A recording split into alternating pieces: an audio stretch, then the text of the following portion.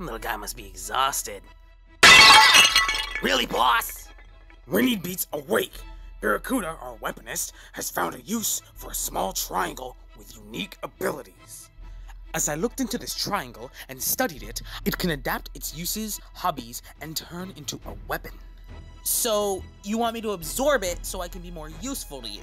Not like you have a choice. We even lowered the powers in case you got any escape plans. You are going nowhere. Let the transformation begin.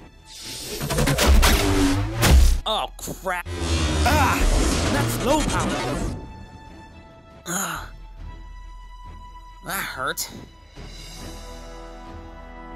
Hmm. I don't feel any different. Um, Beats, you might want to check your right hand.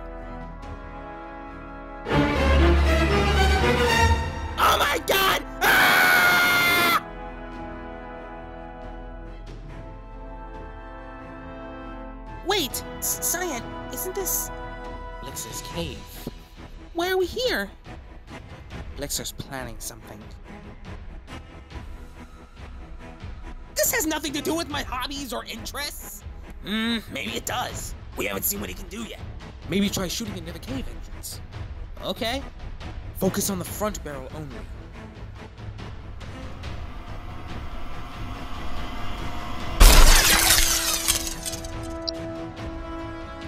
Um, that would be a good time to leave. Damn it! Lincoln, Judah, go prevent human Cyan from reaching the tree. You, come with me. We need to get rid of the other guardians from the tree. Okay, okay, I guess. we should be safe. Cyan, we need to get back to that tree. I can feel that something bad's gonna happen. Cube, Gold, Penta, and Orange are guarding it as we speak. They can handle Blixer. It's not Blixer I'm worried about. It's that purple shape. I just feel that they have a much bigger role in this. And this is where we are going to end part two. I'm sorry these are so short, but the artist currently has a lot on their plate right now and can only get out so many comic strips. But I promise you guys, False Paradise will be back. It feels so good to be back to this. And yeah.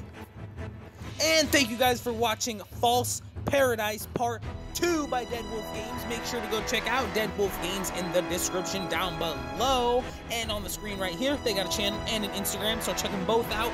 And make sure to check out the previous part to False Paradise right here on screen. So with that being said, guys, I love y'all. Make sure to like, comment, and subscribe down below. And with that being said, guys, I love you guys. Thank y'all for tuning in every single day. And I'm going to see y'all in the next video. PokeTom is out. Stay awesome, guys.